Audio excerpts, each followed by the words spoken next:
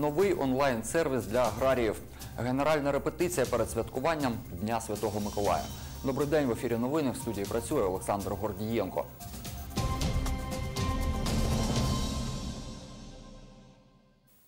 Миколаївщина стала однією з пілотних областей, де впровадять новий онлайн-сервіс для аграріїв.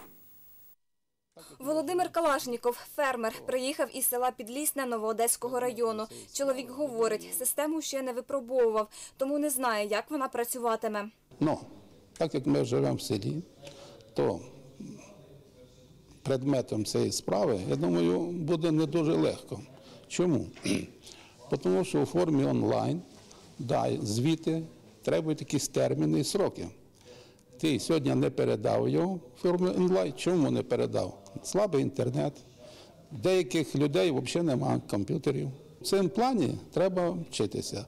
Мало того, не всі фермери, не всі бухгалтера, не всі спеціалісти володіють ще цією формою звітів. Так що я думаю, з цими ділами паралельно треба і вчитися. Що собою являє онлайн реєстр, розповіла Ірина Кіріна, начальниця відділу департаменту сільського розвитку Міністерства розвитку економії, торгівлі та сільського господарства. В першу чергу впровадження реєстру розраховано на допомогу аграріям, сільгосптоваровиробникам, тому що для них це, по-перше, буде джерело достовірної інформації про наявні державні програми, про їх напрямки, механізм їх надання, критерії отримувача коштів, терміни подання документів та розгляду. По-друге, вони е, полегшать їхня участь е, в участі, вірніше, полегшиться їхня участь чи доступ до цих програм, оскільки всі довідки, які вони раніше збирали по різним інстанціям в паперовому вигляді, вони зразу зможуть їх е, підтягти з цього реєстру, бо вони всі тут будуть. Володимир Попов, один із розробників системи, говорить, за допомогою такого онлайн-сервісу можна буде дізнатись про земельні ділянки, які перебувають у власності та користуванні зареєстрованих тварин тощо. Всіми цими діями, які ми робили, ми спробували вирішити декілька речей. По-перше, це один з варіантів держави в смартфоні. По-друге, е, це безкоштовно, я наголошую, реєстр. Це досить важливо, як е, ми знали, спілкуючись з людьми з областей. По-друге, е, це реєстр, який дозволяє самореєстрацію, тобто не немає потреби ходити по кабінетах і так далі. Людина сама може зайти, побачити себе, як держава її бачить, як вона представлена зараз в чотирьох, в чотирьох реєстрах, які ми об'єднуємо. Тобто ми не дублюємо інформацію, ми використовуємо інформацію в режимі онлайн з чотирьох державних реєстрів. Це реєстр речових прав, е, реєстр е, юридичних осіб, е, реєстр тварин та Держгеокадастр. Для впровадження пілотного проєкту нами було обрано три ОТГ. Це найбільші ОТГ, це Снігурівська ОТГ, Баштанська ОТГ та Новобузька ОТГ. Е, Наші фахівці е, пройшли навчання спеціаліст фахівцями Мирового банку. І десь 15 січня ми розпочинаємо роботу реєстра. Будемо виїжджати в ці ОТГ, будемо збирати малі е, фермерські господарства, одноосібні господарства і будемо їм допомагати реєструватися зазначеному реєстрі. Ніна Булах, Ігор Чорний. Новини на Суспільному. Миколаїв. Для пілотного проєкту було обрано Київську, Черкаську, Одеську, Львівську, Волинську та Миколаївську області. Після аналізу роботи та усунення усіх недоліків сервіс буде поширений на всю територію України. 22-метрова ялинка, атракціони, льодова ковзанка та святковий спектакль Лускунчик та таємниця короля щурів. На Соборній площі сьогодні святкуватимуть День Святого Миколая. На площі вже встановили тунель з підсвіткою. Такий самий був у минулому році. Замінили тільки дві останні цифри з 19 на 20. Тут вже встановили фігурки оленів та сніговиків. 22-метрову ялинку прикрасили іграшками. За святковим настроєм прийшла на площу Ірина Іщенко з донькою Поліною та племінником Богданом. Жінка розповіла, як святкуватимуть День Святого Миколая. Утром, как обычно, в школу. Вранці, як завжди, в школу, в садок, а потім вже ввечері підемо на відкриття новорічної ялинки на свято Святого Миколая. У школі, вдома розповідаємо, що є святий Миколай, що він святий, що приносить діткам подарунки. Розповідаємо, що під подушечку подивитися треба, подаруночки пошукати. Семирічний Богдан Іщенко розповідає, що знає про свято. День Святого Миколая це, коли Святий Миколай приходить до тебе і ложить під подушку вку... всякі вкусняшки. Товариство з обмеженою відповідальністю Атракціон Інвест встановило на площі льодову ковзанку площею 40 на 20 метрів.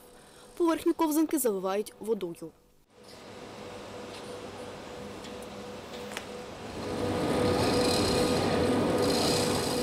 Подивитися на святкову площу прийшли подруги Ольга Іванова та Марія Сахарнюк. Діляться, як зустрічатимуть новорічні свята. З коханим та з близькими мені людьми. Думаємо, що тут буде цікаво і в цьому році щось буде новеньке. Біля інгульського звозу встановили атракціони. Усього шість локацій для різної вікової категорії. Поблизу святкові будиночки, де відбуватиметься торгівля гарячими стравами та напоями. Працівники кажуть, пригощати почнуть 19 грудня. На площі встановили сцену висотою 4 метри. Ввечері розпочалася генеральна репетиція спектаклю «Лоскунчик та таємниця короля щурів». Це проєкт Палацу культури молодіжний. Актори демонструватимуть танцювальні та акробатичні рухи.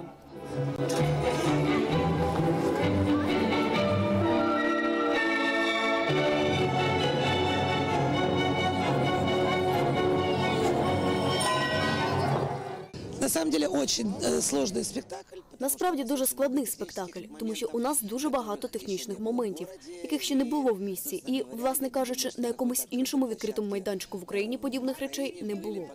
Ви бачите за моєю спиною дві шикарні люстри.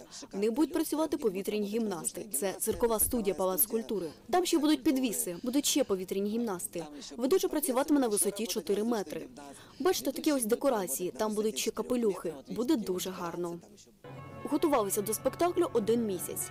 Юлія Бурдинська гратиме одну з головних ролей дівчинки Клари. Я думаю, що це. Я думаю, що це таке втілення дівочої ніжності, таке сприйняття казки та магії. За задумом, мій персонаж загадує в бажанні друга, і чарівниці феї виконують моє бажання, і реалізується воно у вигляді лоскунчика. Роль короля щурів виконуватиме 29-річний Дмитро Захаров. Чоловік займається повітряною гімнастикою 10 років. Розповів, бути символом 2020 року хвилююче. Честно, очень волнительно. Это как бы в первый раз так. Чесно, дуже хвилююче. Це в перший раз бути символом для міста. Це дуже відповідальне завдання, і потрібно його виконати на максимум на 200-300 відсотків. І щоб люди були задоволені, щоб всім все подобалося. Відкриття міської новорічної ялинки відбудеться 19 грудня о 17.00. Світлана Кльосова, Ігор Чорний. Новини на Суспільному. Миколаїв.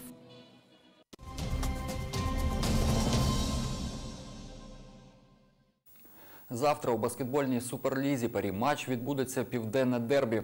Муніципальний баскетбольний клуб Миколаїв прийматиме Одесу.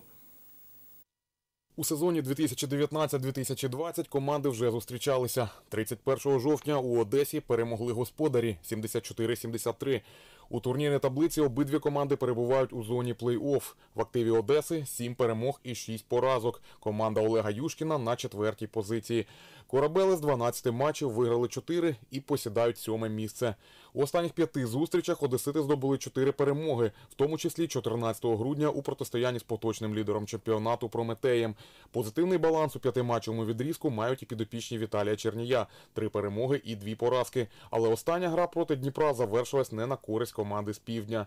Дербі Миколаєва і Одеси відбудеться на паркеті спорткомплексу Надія. Стартовий свисток арбітра о 19.00.